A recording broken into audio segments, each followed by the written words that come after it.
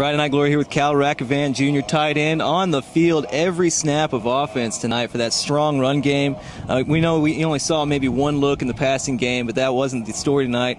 Over 200 yards, easily over 200 yards rushing, and big thanks to the offensive line and Cal here at tight end, strong side. Uh, Cal, just tell me about the play of the offense tonight.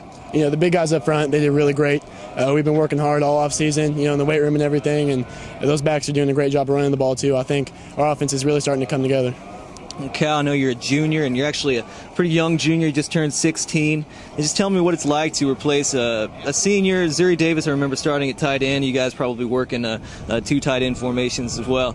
Just tell me what it's like to uh, to fill in as, as, a young junior on this strong offensive uh, offensive program. Yeah. Well, you know, Zuri's a great athlete and uh, they needed him on the defense just for injuries. And you know, they asked me to step up and fill the tight end role, and know, I was eager to do it. Uh, I love you know just helping the team as much as I can. So uh, I'm glad that I'm on the field more now, and I hope to make the best of all my opportunities. Of course, you guys uh, moved the ball very well tonight. We've seen you move the ball very well uh, all season especially last couple of weeks. Just tell me, uh, four 4 0 in district play, five and two at the top of district, a half game up on uh, the rival Trojans. Yep. Uh, just tell me, how are you guys responding uh, throughout the week and practice? I mean, just how do you guys develop this game?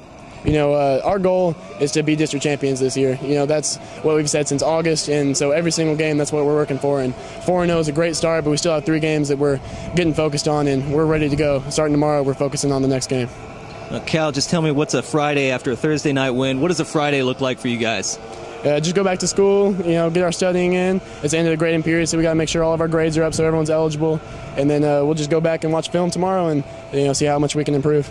Sounds great. Cal, Cal Rakovan on the field, 100% of the offensive snaps tonight. Big part of that running game, that 250 plus yard running game by this Mustang offense. Uh, Creekview 34, Bryan Adams 14. Thanks a lot, Cal. Thanks, sir.